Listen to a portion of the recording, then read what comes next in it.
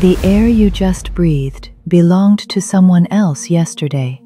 You just inhaled molecules that were inside someone across the world 48 hours ago. Kind of creepy when you think about it. Earth's atmosphere mixes completely every one to two years. Every breath contains about 10 sextillion molecules. Yes, that's an absurd amount.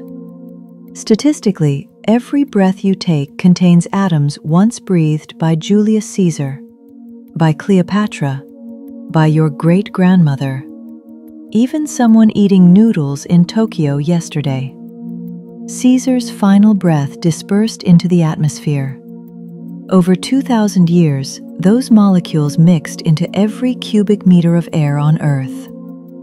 Right now, you're inhaling history. You're sharing oxygen with everyone who's ever lived.